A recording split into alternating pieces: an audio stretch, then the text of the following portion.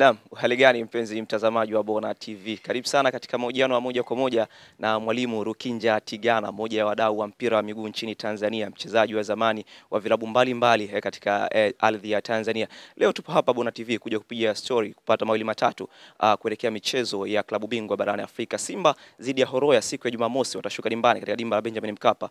Eh, watazamaji wa Bona TV mnataka kusikia mengi sana. Leo nipo na mtaalamu mtapata kujua ABC dhidi ya Horoya ambao wengi hamwezi kuwafahamu. Eh, mwalimu Rukinja Tigana, habari yako? Salama kabisa. Kwema kabisa. Ninashukuru niko poa. Pole la majukumu. Asante sana, asante sana. Mwalimu, Jumamosi eh, kama taifa tupo na mchezo mmoja mkubwa sana, Simba dhidi ya Horoya, mchezo muhimu sana utakwenda kutoa taswira ya Simba katika ile group. Kwa kweli unatazamia ni mchezo wa namna gani? Eh, Actually ni utakuwa mchezo mgumu kwa sababu ya level ya mashindano yenyewe na hatua hii ambayo inamtoa mmoja anayefuzu na mnaye baki.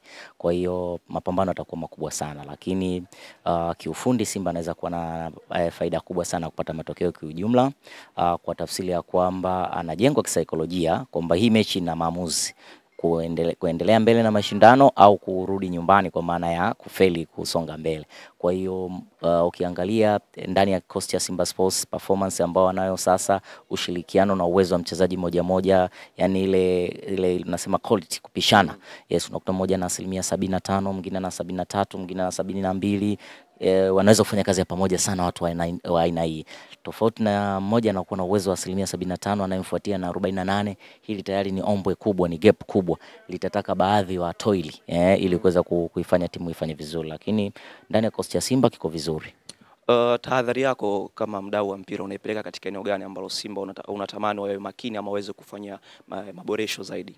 Yes, uh, cha kwanza kwanza katika football tunagawanya idara tatu muhimu: idara ya ulinzi ambayo inaanzia na goalkeeper, idara ya midfield ambayo ndio muhimili wa timu na uh, idara ya ushambuliaji ambao ndio kule kwenye finishing. Sasa ili timu iwe bora ni lazima vipande vyote vitatu viwe bora, lakini kilicho kinachopaswa kuwa bora zaidi ni kile cha kati ambacho ndio kinaweza kuleta uh, uwezo mzuri wa kwenye kushambulia, tunasema offensive na uwezo mzuri wa kwenye kudefense. Sometimes timu inaelemewa kwa kudefense kwa sababu pamelega hapa katikati. Kwa hiyo muhimili wa eh, football team uko kwenye dara midfield. Kwa hiyo wale wakafanye kazi ya kipunda kwa uwezo wao wote, na wakubaliane pia kwamba anayepata nafasi anaiwajibikia timu, ikitokea amechoka aingie mwingine e, kama mbadala wake kuendeleza yale mazuri ambayo mwingine alikuwa anafanya. Lakini niseme discipline kiujumla inatakiwa maeneo yote matatu, na hasa discipline ya matumizi ya mbinu, matumizi ya ufundi, ustahimilivu na stamina ya kuweza kuhimili dakika tisini. Uh, kwa Mtanzania ambaye anaitazama Bona TV kwa wakati huu hawajui vizuri Horoya, kwa hiyo unaweza uka- ukampa taswira ni Horoya ni timu ya namna gani? Yes, uh, Horoya ni moja ya timu shindani sana inapokuja kwenye Champion League na hata sometimes ikiporomoka kwenye Confederation. Uh, kuna wakati ilikuwa ilinunua wachezaji kutoka Tanzania akiwemo Makambo, tuna kumbukumbu nzuri eh, Coutinho pamoja na bwana mdogo moja Enoch Ata Ajay. Eh, ni timu ambayo imeratibiwa vizuri kwenye mashindano haya. Ndiyo maana wakati wa kupanga zile pot, eh, pot 1, pot 2, pot 3, pot 4 mm. zile za kutengeneza makundi, yule alikuwa kama mtu wa pili kwenye kundi akiaminika ubora. Eh, afu Simba alikwenda kuwa watatu kwenye poti yao, Mm. si ndivyo? Zinasema top seeds number 1, number 2, number 3. Yeye alikwenda eh, kwenye namba ya pili eh, akiwa nyuma ya, ya, ya, ya, akiwepo nyuma ya Raja kwa sababu Raja mafanikio yake tunafahamu.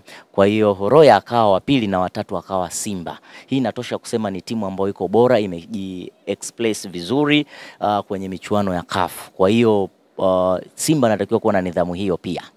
Uh, mchezo wa mwisho Simba na Horoya wanakutana kule nchini Guinea. Simba aliweza kuruhusu uh, goli moja ambalo ni goli uh, tunaweza tukaliita ni changamoto ambazo zipo katika vilabu vyetu vya Tanzania, mipira ya set pieces. Kwa kweli ni tahadhari ipi unaitamani ichukuliwe kule katika mipira hii ya set pieces? Ya awali yote nilivyojibu kwenye ubora wa idara ya midfield Yeah. uh, nilikuwa na maana pia kuzuia mipira isiende mara kwa mara golini Yeah. ambapo ndo mchezaji anaweza kutoa kona au akafanya faulu akiwa kwenye kipisi cha kwanza kwenye zone 1 ya, ya, ya timu. Lakini niseme ukweli uh, kwenye, kwenye build up ya timu uh, inakupa fursa kubwa ya ku, ya kujipanga upya. Yaani mfano mimi nimekuwa katika area tu ya uwanja e, eneo la katikati ya uwanja, nikipigwa chenga inanipa wasaa wa kukimbia kwenye kipisi cha kwanza au zone wani kwenda tena kufanya mentality ya marking.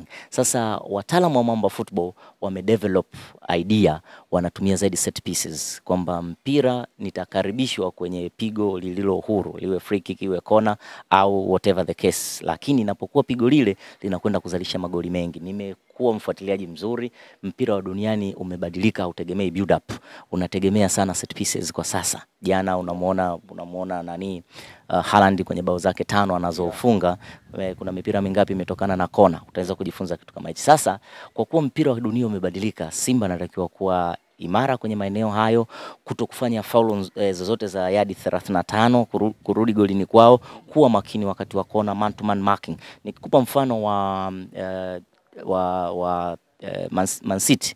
Man City wana filosofi yao ambayo mimi nitakwenda kuwa kocha.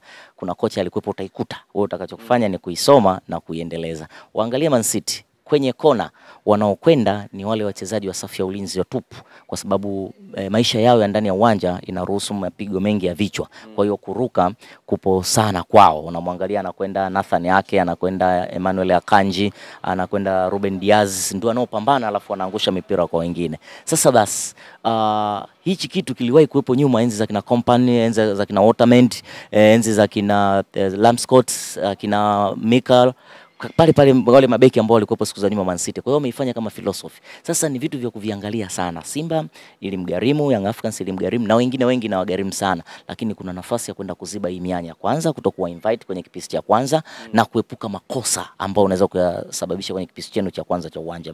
Kiwanja kina vipisi vitatu vya mita 35 35. Mm. Kutoka goal line uh, mpaka mita 35 ni kipisi cha kwanza, kutoka 35 mpaka 35 nyingine ambao ni mita sabini kipisi cha pili na kile cha mwisho bora makosa yako mengi yanzie eneo la katikati kwenda kwenye attacking, vile vipisi viwili area 2 na area 3 mm. lakini sio huku nyuma. Kwa hiyo wachukue tahadhari hiyo, kwa sababu sasa hivi magoli mengi katika soka la dunia yanafungwa kwa set pieces. Uh, mwalimu uh, Simba tangu irudi iingie katika hatua za kimataifa, tunaonekana kuna changamoto kubwa sana mwalimu anaipata katika eneo la striking. Magoli wanayofunga katika uh, michuano ya kimataifa yamekuwa madogo sana, pengine wana struggle wapi katika eneo hili la striking? Ya una ukirejea huku nchini ndio eh, timu yenye strikers bora mm. kuliko wote kwa hapa nchini eh. Yeah. Yes, yes, Magoli eh, mengi sana. magoli mengi magoli hamsini na tatu kama si hamsini na saba hivi Yeah. ambao wameyapata wame- eh, nasema intensity ya game yeah. ya za Champion League na eh, na hizi local based games zina Yeah. tofauti kubwa sana. Kule mlinzi hawezi kufanya makosa mara tatu Yeah. eh, mara mbili mfululizo tofauti na huku ndani. Huku mchezaji wa mkoani anaweza kukuofa kosa la kwanza, la pili, la tatu na bado akawa rekebishiki. Kwa hiyo kama yeye atakuwa anafanya makosa, wewe unamwadhibu. Sasa kule nje, kitu ambacho Simba kinamtatiza, ana uwezo wa kukopi na kupesti upande huu, lakini anakutana na intensity ya game E, ugumu kwenye maeneo hayo, Gemu inachezwa speed, mlinzi wako imara, hawezi kufanya makosa hayo niliyoyasema mara mbili mara tatu. Kwa hiyo nataka sana utundu, tunasema creativities kubwa kutoka kwenye idara midfield ili kwenda kwenye kwenye offensive. Hapa sasa mkikosa watu wa- wenye ubunifu, mipira imefeli, imeingia area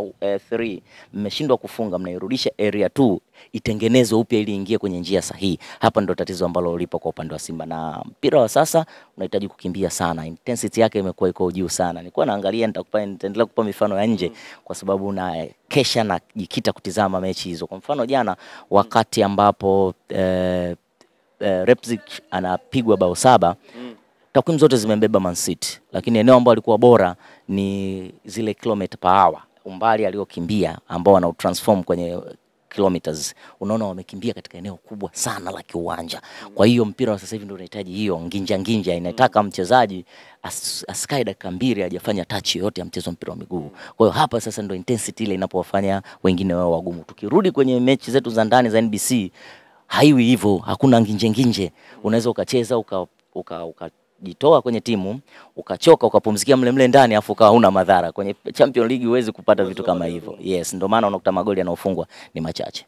Uh, jana afisa uh, habari wa Simba Ahmed Ali alisema urejeo wa Kibu Dennis, na kwa mujibu wa mazungumzo yako, uh, mchezo wa mpira wa miguu sasa hivi unahitaji mtu ambaye anafanya movement nyingi sana uwanjani, akiwa na mpira I mean on the ball na off the ball, na Kibu Dennis ni types ya mchezaji wa namna hiyo. Kwa hiyo unamuona anakuja kuongeza kitu gani katika squad ya Simba? Sawa, swali zuri sana. Niseme pia Kibu Dennis ana wasifu mwingine mbi, mara mbili zaidi. Uh, yule ni fighter Eh, alafu at the same time ni playmaker. Yeah. Fighter kwa maana anaweza kugombea mipira kwa vinyang'anyiro vya physical battle Yeah. eh, alafu akawachezesha wenzie. Hii ni faida kubwa kwa Simba. Sasa kwa kuwa hakuwepo, atakavyorejea kwenye mchezo huu atawapa eh, kitu kikubwa sana Simba kwenye hivi. Unajua mpira unavyotakiwa, si nyote mtakuwa na element za ufundi. Wapo wana bidii, wapo watu wana juhudi. Kwa hiyo kuna muda wanaweza kufanya kazi zao kwa aiba yao, then wakawapa mafundi wachezeshe eh, mpira kwenye maeneo ya faida ya kitimu. Kwa hiyo kurejea kwa Captain Dennis kutawapa faida kubwa Simba kwenye fighting, kwenye miruko. Ni mpambanaji, anakwenda juu, si ndivyo? Anafanya jumping force nzuri, anaweza kupora mipira akaianzisha chini. Kama unamuona kwenye mechi aliyoumia dhidi ya Vipers ya kwanza, mm. alikuwa na mchango mkubwa sana mpaka dakika 80 ambao eh, ali- alikuja kutoka Kwa urejeo wake kwa wanasimba ni furaha. Ni furaha yes, ni furaha sio kwa wanasimba wote. Wapo ambao wanaweza wasione hichi kitu kiufundi, lakini kwa benchi la ufundi eh, ndio wana furaha sana. Unajua, tunapokuwa na wachezaji kumi na moja tunaoorodhesha kwenye kikosi, kuna ile tunasema eh, tunasema tabia tofauti za kiuchezaji au varieties. Huyu anaweza kukupa maarifa mengi ya mchezo, huyu akakupa nguvu nyingi, huyu akakupa kitu kile. Kwa hiyo ukipata katika kikosi chako cha watu eh, kumi na moja ukipata aina ya wachezaji hawa, anayekupa nguvu, anayekuofa nguvu kwenye kupambana, anayekuofa maarifa makubwa, wale akina wakina Ozil hawataki mgusane, kachukua huku kaiachia moja katoka. Kwa hiyo timu inakuwa na nafasi kubwa kupata matokeo kwa sababu ina upana. Uh, moja ya maeneo ambayo watu pia wamekuwa wakiyazungumzia kwa ukubwa wake na kutolea maneno mengi sana ni eh, mabadiliko ya matumizi ya Clatous Chota Chama. Watu wanadai Clatous ambaye alikuwa anatumika katika mechi za nyuma na walimu waliopita na anavyomtumia Robertinho pengine anakosa hiyo faida ya Clatous ambaye alikuwa anatumika kama hapo kabla. Kwa hiyo unalitazamaje katika mabadiliko haya ya Clatous Chota Chama kiufundi zaidi? Yes, uh, kwanza mchezaji bora ni yule ambaye anakuwa flexible kubadilika na roles mbalimbali. Umenielewa? Yes, anakuwa flexible kubadilika na roles, yani majukumu mbalimbali yanayopangiwa na walimu.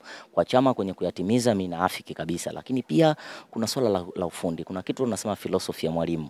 Uh, napo implement philosophy yangu lazima niangalie aina ya uh, rasilimali watu nilionao aina ya wachezaji nilionao. Sasa napotaka kutengeneza timu yangu lazima nijue e, Chama atanipa kitu fulani na ukomo wake kwenye kunipa hichi kitu utafikia hapa, iwe ni kwa muda kwamba baada ya kufikia dakika sabini na tano anakuwa light off, nimfanyie hesabu. Ni vitu vya kiufundi. Napo kuangalia wewe bwana, kwamba wewe kwa sababu unaweza kupiga mashuti ni kufiche e, nyuma labda ya washambuliaji wawili alafu badala ya mipira yangu kukimbia kwenda golini ni seti nyuma, kwa sababu tuna mtu anayepiga. Hii ndo tunasema filosofi ya mwalimu. Ukiona Chama amepelekwa kwenye position nyingine na mahitaji mengine, filosofi ya mwalimu Robertinho ndio imetaka. Kwa hiyo kama washabiki wanatakiwa kuhukumu after results, lakini tusiishi maisha ya kuzoea. Asante sana mpenzi mtazamaji wa Bona TV. Nipo na mwalimu Rukinja Tigana tukijaribu kupiga stori mawili matatu eh, kuelekea michezo ya klabu bingwa barani Afrika, Simba dhidi ya Horoya. Bona TV tulikopo hapa na tumepata kusukua madini mbalimbali. Langu jina ni Ali Mlanzi, nyuma ya kamera yupo director Novatus. Mpaka kufikia hapa sisi hatuna la ziada kwa siku ya leo. Nikutakia utazamaji mwema wa vipindi vinavyoendelea hapa Bona TV.